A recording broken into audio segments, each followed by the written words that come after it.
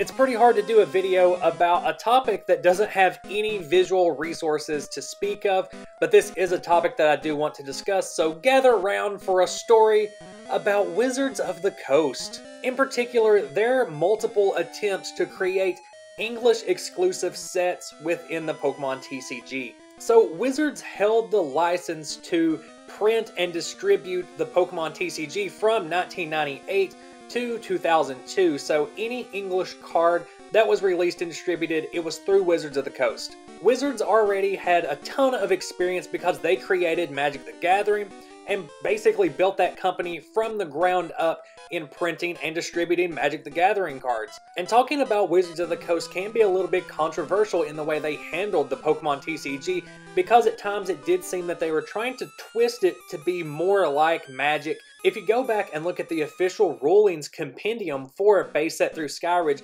you'll see a lot of incorrect rulings in there where they weren't really understanding the basic mechanics of the Pokemon TCG and they were applying the mechanics of Magic and using those rulings to dictate how Pokemon was supposed to be played.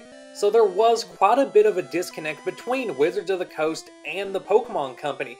And to exacerbate this, the Pokemon Company in Japan was just tossing out sets. They had so many Japanese exclusive sets, and Wizards of the Coast had to request to receive those sets and translate them to distribute them and sell them in North America. To this day, there are still some Japanese sets that were never released outside of Japan, like the Versus series, the Vending series, and a ton of movie promos. Another disconnect came in the form of competitive play, where Wizards of the Coast had set up a standard format and an extended format for TCG play, while in Japan, it was basically just unlimited. At that time, every card that had been printed was fair game, so this disconnect even affected the way that Pokemon players were experiencing the game. Even this early on, it became clear that Wizards of the Coast was wanting to kind of veer off and do their own thing and create their own version of the Pokemon TCG in North America. Their first step in doing so was creating Base Set 2, which was not a set that was released in Japan. They did get permission to reprint cards from Base Set and Jungle into a brand new set, basically to resell more packs and introduce new players to those base set cards that were a little bit harder to get a hold of. Wizards did maintain the rights to distribution from the Pokemon Company well into the gold and silver sets, and around the time that Neo Discovery was coming out, they announced that they were going to do a base set 3 and I was only able to find information on Base Set 3 by digging through interviews on the old, old Pojo's website, where they did have a representative from Wizards of the Coast answering questions about upcoming TCG sets. In this interview, the representative refers to this base set 3 as Cross Trainer. So, this Cross Trainer set was supposed to include all 151 Pokemon, one representative of each, from sets ranging from base set all the way up through Rocket. Among these 151 Pokemon cards were supposed to be previously unreleased in English cards that were to be translated from the Japanese Vending series and the Japanese Southern Island sets, which Wizards of the Coast did not have the licensing rights to publish. Jump ahead several months to another Pojo interview with the same representative. When they were asked about the Cross Trainer set, their response was simply that it wasn't going to happen anymore that Wizards of the Coast would rather focus on translating and releasing Neo Revelation and the Southern Island sets.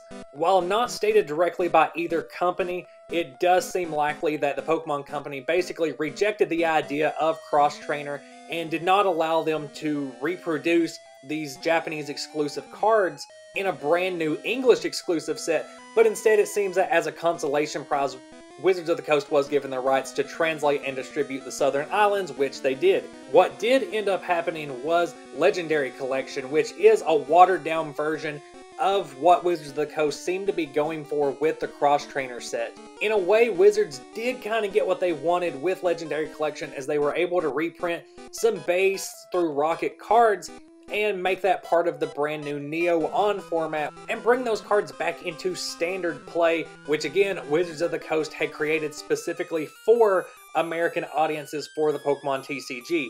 Jump ahead again to the e-reader era. So Skyridge is about to come out the representative from Wizards of the Coast does some more Pojo interviews and announces not one, but two Wizards of the Coast exclusive sets, the first of which being Legendary Collection 2 and another unnamed Wizard set.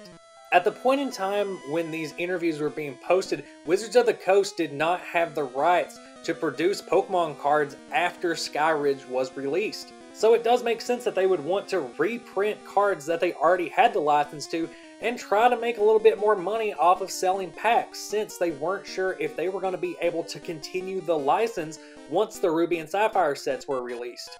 Over the course of these several Wizard interviews on the Pojo website, the representative reveals that Wizards had already contacted multiple artists to do original artwork for brand new Pokemon cards that they were going to create and produce. They also said that they had already created promo art, box art, packaging designs, and had already invested a considerable amount of time and money into the research and development of this set that they were now going to call Jamboree. Jamboree was to be the pinnacle of Wizards of the Coast run on the Pokemon TCG, just in case they weren't going to get that license back. They wanted to go out on a high note. And it wasn't entirely unreasonable for Wizards to create their own brand new Pokemon cards as they had done it before. With the Rocket set, Dark Raichu was included as a secret rare. That's why it's numbered 83 out of 82. This is a card that the Japanese Rocket set did not include. Now, Wizards of the Coast did not create their own artwork for this card, they just repurposed Raichu art that already existed, but Dark Raichu still served as an example that Wizards of the Coast had created their own cards before, and the Pokemon Company allowed it to happen. But as all of you in the TCG community know, Legendary Collection 2 never happened. Jamboree never happened, and it was swept under the rug pretty hard. So much so that the only way to find information on it was to dig through some pretty archaic forum posts from 2002. To illustrate how quickly this turnaround actually happened, here are some select quotes from the Pojo interviews that I keep mentioning. This post started in January 3rd of 2002, where Wizards of the Coast seemingly announces that they are working on a Wizards-only TCG set, and makes it appear as though the Pokemon Company was actually encouraging this. By February 2002, they had already given names to not only Legendary Collection 2, but Jamboree, and they did reveal in a later post that the cards would not be e-reader format like the Skyridge set was. In an official release, not a forum interview, we do have word from Wizards of the Coast that they will not be distributing the Pokemon Ruby and Sapphire TCG releases, that the Pokemon Company will be taking over from there, but they are still on the books, officially announcing that they will be releasing a Legendary Collection 2 and a Jamboree expansion set, which does not happen. Later, we get this Pojo post saying that Legendary Collection 2 and Jamboree are officially cancelled now, and they are questioning Master Trainer Mike on how far along the sets were, what cards were included, will they ever be released, and they have to be pretty hush about this because they no longer have a deal with Nintendo or the Pokemon Company. Even at this point, players were considering how this would affect the metagame and how this would affect official events because those events were sanctioned and controlled by Wizards of the Coast it does become a little difficult to read between the lines and try to figure out what was actually going on here.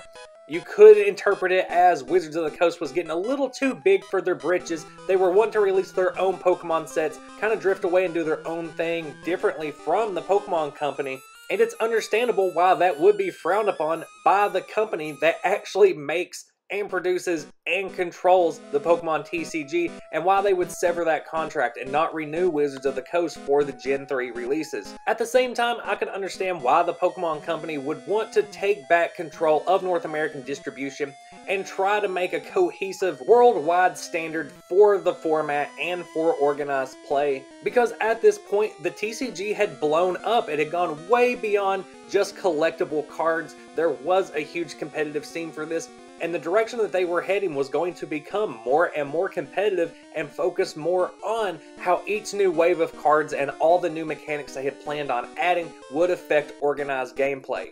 In the next year, when Wizards of the Coast deal was finally expiring, we got some juicy tidbits about some behind the scenes motivators in these decisions and posts.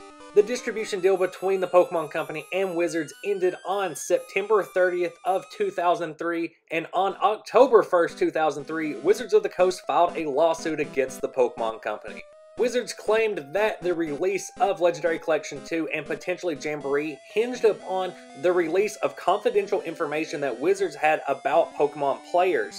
It also seems as though the Pokemon Company did poach employees from Wizards of the Coast and bring them onto their own team in order to develop new sets for the Ruby and Sapphire expansions. In doing so, the Pokemon Company could have obtained proprietary information that could have been used to compete with Wizards' own Magic the Gathering products.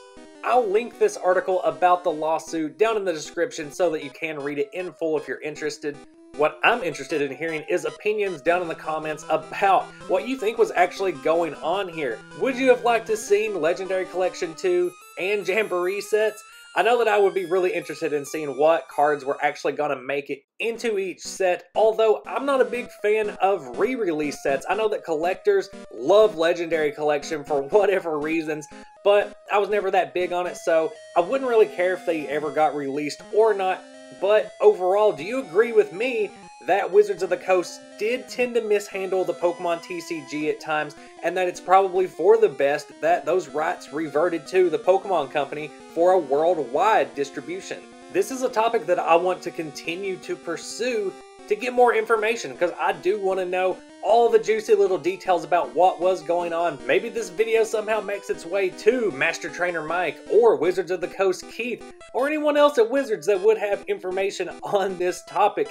If you do, hit me up because I would love to learn more about what was going on back in 2002. For everyone else, I hope you enjoyed this video, even though there wasn't a whole lot of video going on, but I do hope you liked the discussion. Stay tuned for the next video and some more upcoming decks, and until then, bye!